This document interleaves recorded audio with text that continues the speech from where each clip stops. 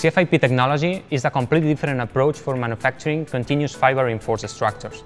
The process is based on injecting the continuous fibers simultaneously with liquid resin inside tubular cavities in the part. After this, the part is cured so that the resin, once it's solidified, finally works as a mechanical interface between the fibers and the rest of the part.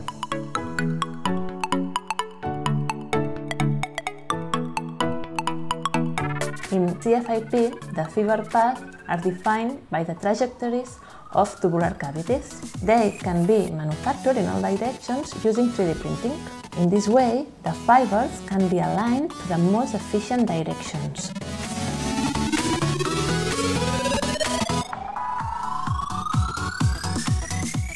Instead of developing an additive manufacturing machine, what we have created is a new post-process technology. CFIP can be used for any existing manufacturing technology and material. This means that parts made of stiff or flexible plastics, metals and ceramics can be reinforced with carbon, glass, aramid or other type of fibers.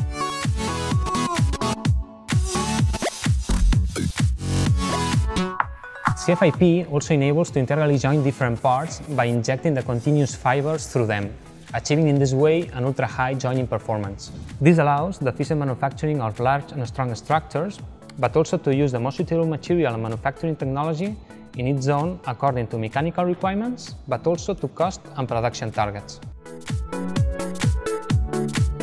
Definitely, CFIP technology enables to add high value in a wide range of applications and sectors, for example in terms of lightweighting, design and customization.